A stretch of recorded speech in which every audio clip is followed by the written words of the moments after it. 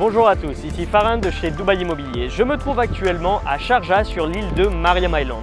Mariam Island, c'est une île qui est sur la corniche de Sharjah et en bord de mer de Mariam Island qui est développée par le promoteur Eagle Hills. Eagle Hills, c'est un promoteur immobilier dont le propriétaire est Mohamed Alabar. Mohamed Alabar, c'est le propriétaire de la plus grosse société immobilière à Dubaï, Emar. On a une vraie logique de développement, les appartements sont haut de gamme, on a une promenade, une marina, un centre commercial et les appartements vont du studio aux quatre chambres. Le tarif de départ pour des studios, c'est 110 000 euros avec un plan de paiement étalé. C'est une opportunité qu'il ne faut pas rater aujourd'hui. On a un potentiel de plus-value vraiment important. Prenez contact avec nous pour avoir plus d'informations et bénéficier de votre unité.